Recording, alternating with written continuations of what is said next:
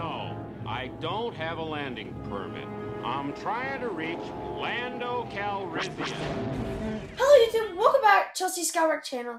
In today's video, we're going to be looking at the Cloud City playset.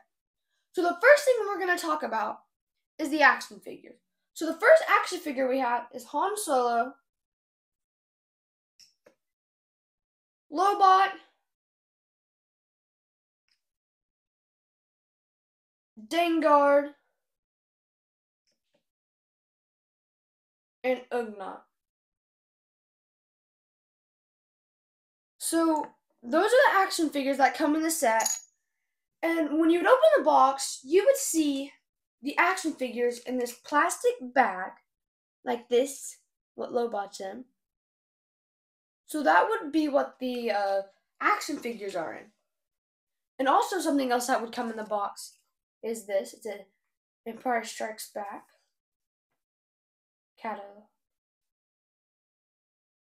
So you see it shows you some pictures of the toys right here. So that would be something else that would also come in the box. So, if you look at the playset, pretty much the first thing you see is the sky. So you see the cloud car right there. And then you see some city stuff.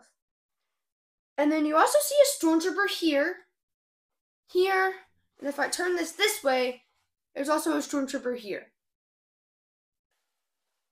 And one of the things we are missing in the playset are the pegs you place the action figures on. So that is one thing we are missing.